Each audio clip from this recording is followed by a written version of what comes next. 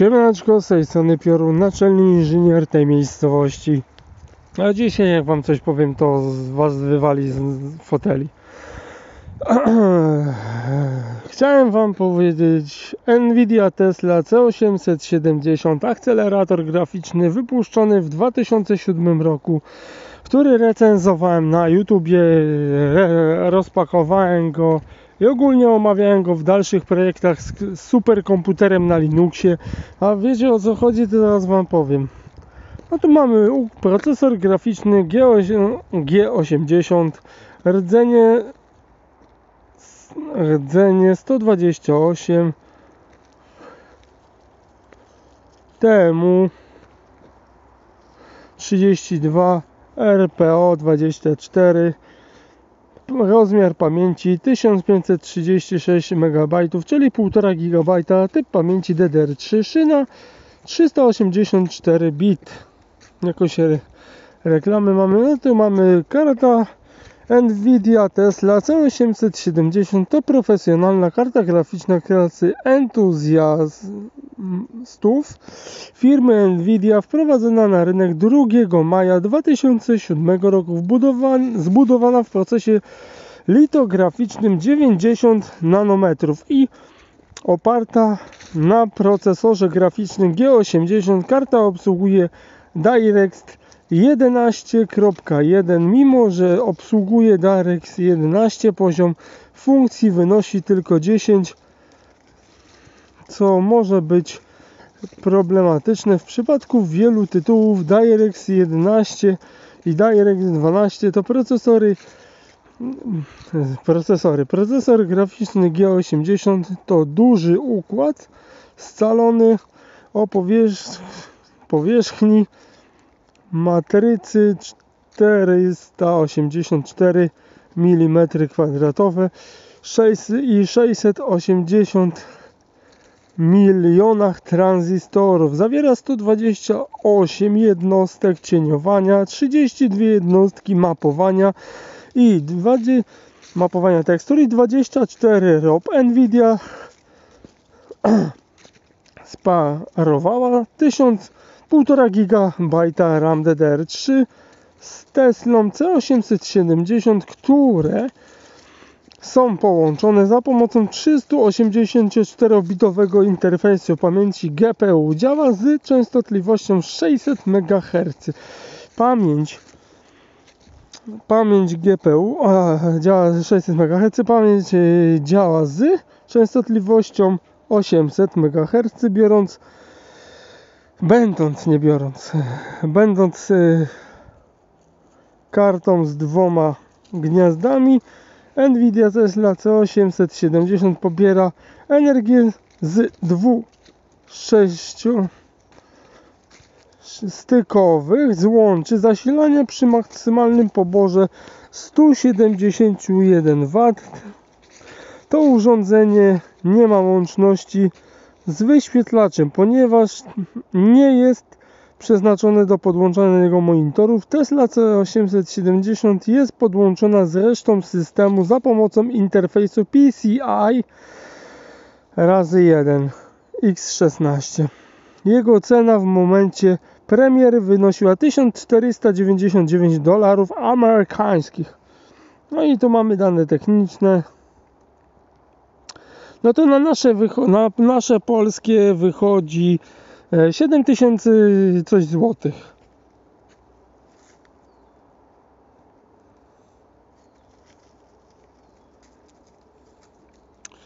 O i tu mamy Tesla 100%. No. Więc RX 550 Radeon.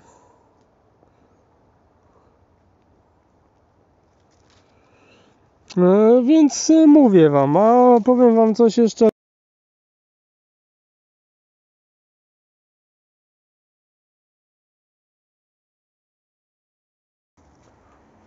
Cześć wszystkim, z tej strony Piorun Elektryk, a w dzisiejszym rozpakowaniu chcę Wam pokazać akcelerator graficzny zakupiony na Allegro za cenę 149 zł. Plus koszty przesyłki. Akcelerator kosztował 145, ale plus koszty przesyłki. Dobrze. Jest to akcelerator graficzny Nvidia mm, Tesla. C870 i powiem wam jeszcze lepiej. Po opublikowaniu mojego filmu na. YouTubie sprzedaż y, Akcelerator akceleratoru po graficznego Nvidia Tesla jednostki C870 wystawowej, czyli wystrzeliła w górę o nawet, 20%. chyba, że pierwszy raz, żeby zainstalować system operacyjny. Wspomin- Wspominam swój film o tym, jak zbudować dobrze kopertę kryptowalut. Właśnie tam mówiłem o tym akceleratorze, więc przejdźmy do meritum. Rozumiecie? Po opublikowaniu mojego filmu na temat akceleratoru graficznego Nvidia Tesla C870 e, sprzedaż tego urządzenia wystrzeliła o 20% w górę. Nvidia Tesla C870. Zakupiłem tą kartę e, na Allegro. To jest e, akcelerator graficzny pochodzący ze stacji roboczej, która po prostu była na wystawie gdzieś sobie stała, a po prostu po czasie poszła do demontażu i sprzedaży na część. E, Więc po pierwsze jak go wyciągnąłem, to byłem zastopuję sobie swój film i powiem Wam jeszcze lepiej. Karta po prostu jest nowiuśka. E, sprawdzałem termopady. Termopady to są praktycznie nówki sztuki. Zachowało, i, jak to się mówi, e, stan doskonały i tam nie mam czego wymieniać naprawdę. Te Temperatury akceleratoru są dobre, więc ja naprawdę nie wiem co ja bym miał tam wymieniać. Zresztą możecie sobie mój film zobaczyć, bo widzicie mój e, tytuł mojego filmu akcelerator graficzny Nvidia Tesla C870 i po prostu mówię, dla mnie to jest dziwne, że po premierze mojego filmu na YouTubie to sprzedaż akceleratorów wywaliła o 20% w górę. To są najnowsze dane z internetu. Ja nie pojmuję, czy to dlatego, że ja ten film zrobiłem, to sprzedaż tego urządzenia wywaliła w górę? A szukałem filmu z tym akceleratorem z 2007 roku, nic nie ma. Nic nie ma w ogóle. Eee, powiem Wam lepiej. Cofnę się.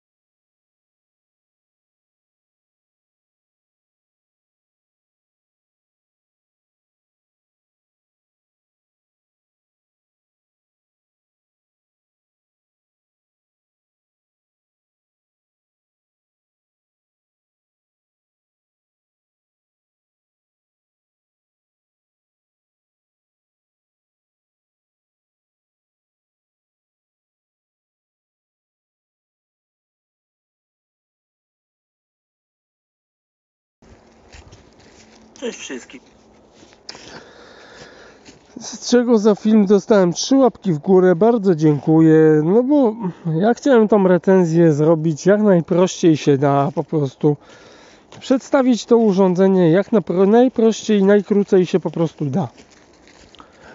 Bo tu tak naprawdę nie ma czego omawiać. No nie będę tego akceleratoru rozkręcał, pokazywał jak wygląda w środku, bo sobie zdjęcia możecie znaleźć w internecie. Ale, le powiem lepiej, opis akcelera akceleratora zrobiłem konkretny. Napisałem do czego to służy. A nie, do czego to służy. Na przykład niektóre posiadają zaawansowane algorytmy. Tak. E, nie wiem, gdzieś słyszałem na świecie, że w jakiejś elektrowni atomowej zrobili jakiś tam test i karta graficzna, nie wiem jaka, czy tam akcelerator graficzny, bo już nie wiem, nie pamiętam tego tekstu, ale po prostu układ graficzny kontrolował reaktor atomowy. sam układ graficzny kontrolował reaktor atomowy. I naukowcy, jak to czytałem, byli zdumieni, że układ graficzny dał radę to kontrolować. No. Więc ja to uważam, że jak się chce, to się da. I tyle. Więc y, dziękuję wszystkim, że oglądacie moje filmy. Bo to jest naprawdę przyjemne, że mogę robić filmy dla Was. Ktoś to ogląda, daje łapki w górę.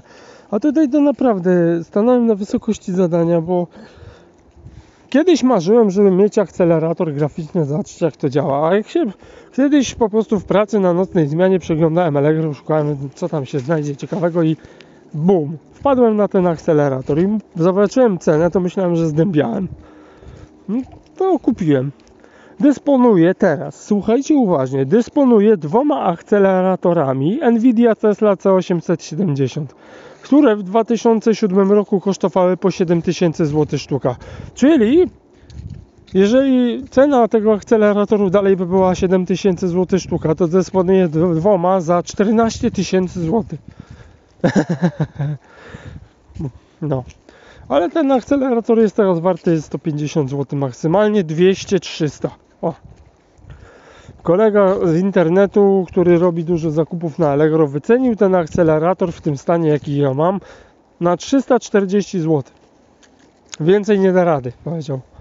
Tyle, na tyle wycenił. No i powiem Wam szczerze, że to nie jest film promujący ten akcelerator. Ja po prostu chcę omówić temat, bo dla mnie to jest dziwne, że po opublikowaniu mojego filmu na YouTubie to sprzedaż tego urządzenia wywaliła w górę. O 20%, ale wywaliła. Naprawdę, dla mnie to jest dziwne, bo urządzenie, które nawet które ma już swoje lata i nagle gigantyczne zainteresowanie. To ja nie wiem, to w 2010 się nikt nie interesował? A może jest inna przyczyna, po prostu nikt nie miał wysrać takich pieniędzy. Proste. Piszcie w komentarzach, co sądzicie o tym, bo ja uważam, że to jest trochę dziwne, że po premierze mojego filmu na YouTubie sprzedaż akceleratoru wywaliła w górę. No.